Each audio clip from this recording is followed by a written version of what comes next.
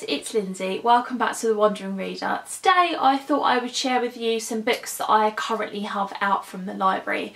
So I have a stack here of books that I'm really excited about reading. Um, I love using my library. I have a few different videos planned for um, different sort of library content so watch out for that on my channel uh, but yeah I'm always making use of my library and I want to make even more use of it in 2020 so uh, let's dive into the books that I currently have out. So the first one that I have here is Finding My Voice by Nadiya Hussain.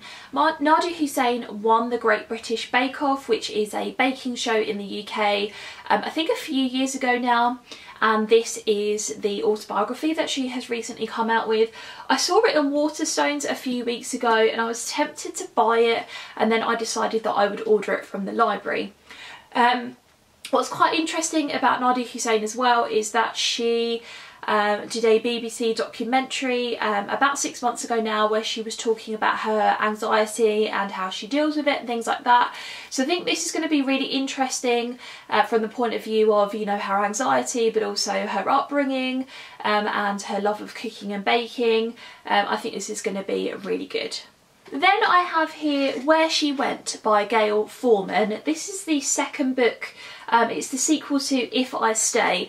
Um, I read If I Stay quite a few years ago now. Um, I owned it and then I unhauled it off of my shelf. And If I Stay was about a girl who uh, was in the car with her family one sort of like icy December morning and she her family had a car accident um, and the rest of her family died and she was the only one to survive the car accident and the book follows her in a coma um, where she's trying to decide whether she wants to live or not. Um, and this is the follow-up to that. So um, yeah, I don't really know anything about the follow-up. I don't want to tell you anything about the follow-up because spoilers. Um, but yeah, I it's a, a YA read, um, a contemporary book. We'll see what I think. Then I have here Do It Like a Woman by Caroline Criado Perez. I recently bought a book by this author called Invisible Women. I haven't hauled it yet on my channel.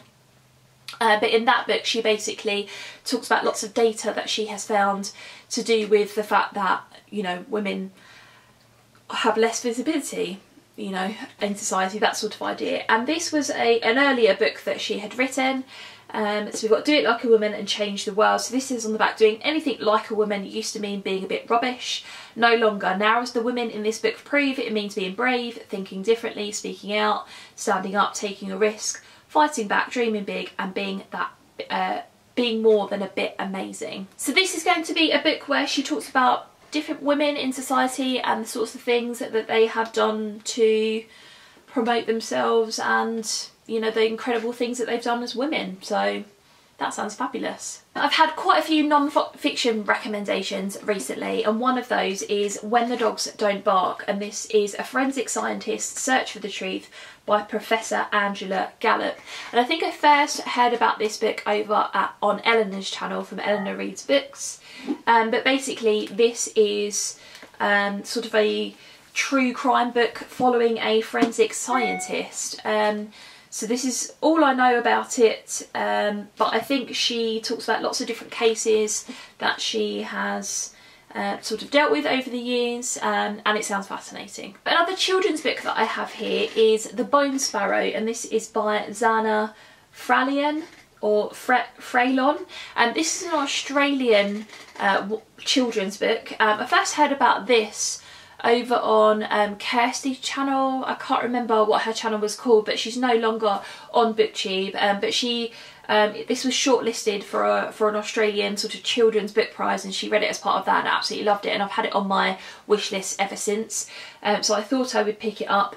Um, and this says on the back that um, Subhi is a refugee, born in an immigration detention centre, life behind the fences all he's ever known. Then he meets Jimmy, a scruffy, impatient girl from the other side of the fence. Um, this is one story, the story of millions. This is presumably based on, you know, sort of true life events. Um, it sounds like it's going to be really poignant um, and I've heard some really good things about it. Another recommendation from Eleanor over at Eleanor Reads Books is Beneath the Surface and this is by John Hargrove. So the subtitle of this is Killer Whales, SeaWorld and the Truth Beyond Blackfish. Um, and she also recommended another one which I think it was called Death at Sea SeaWorld and I also um, I can also get that one out from the library too. Um, and this follows um, John Hargrove who was a, a former senior orca trainer in SeaWorld and I've always been fascinated with the SeaWorld story. I've never been, I've been to Florida twice and avoided SeaWorld both of those times because I just haven't wanted um, to go and support something like that.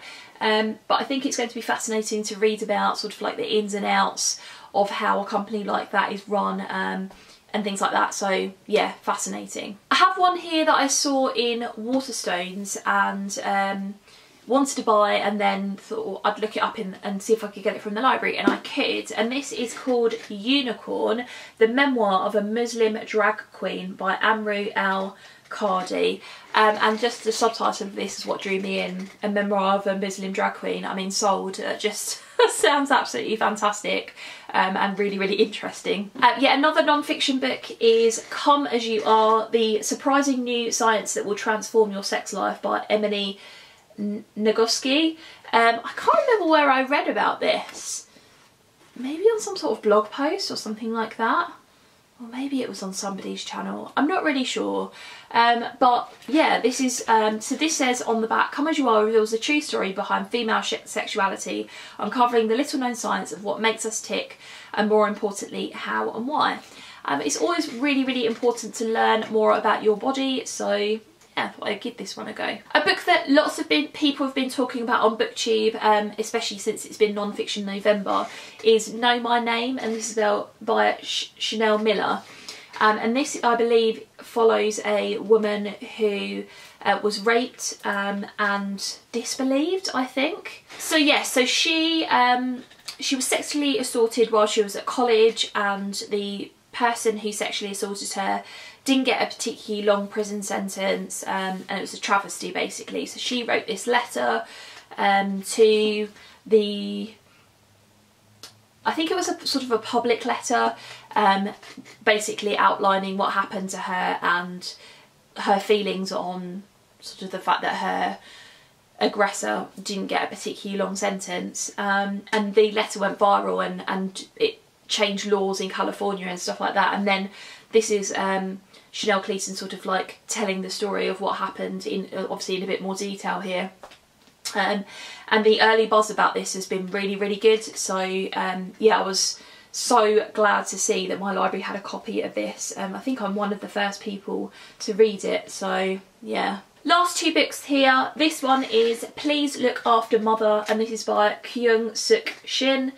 Um, and this says on the back, um, Sona is a wife and mother to five grown-up children.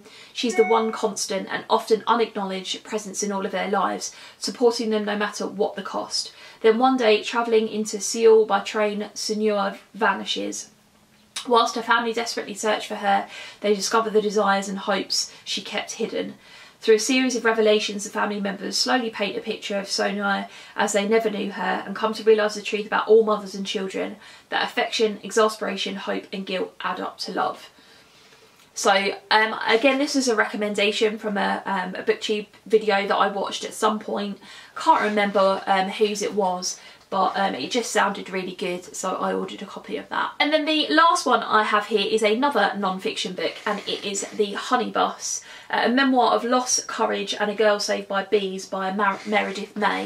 Um, and I saw this again on a trip to Waterstones and I decided to get it from the library um, and this is basically telling the story of Meredith May when she was little and how um, she was abandoned by both of her parents and her grandparents uh, brought her up, I believe. Um, and um, her grandpa had this old bus, this old um, sort of like school, I think it was a school bus, um, this old bus nonetheless where he kept his beehives and looked after them and I think she sort of helps out in looking after them. So it's going to be about sort of beekeeping but also about um, growing up, sort of like a coming of age um, type story and things like that. Um, and just the cover is really really beautiful. I was drawn to that to begin with. Um, yeah and it has I mean just ignore the the uh, date thing on here but it has all really nice pictures on the inside pages so yeah I thought I would give that one a go to. So there you go guys they are all of the books that I currently have out from the library. Um, I'd love to have a chat with you in the comments below. Have you read any of these? What did you think of them? Um, and have you got anything out from the library recently? If you enjoyed this video then please give it a like and subscribe to my channel for more content. Thanks very much for watching and I'll see you in my next video. Bye.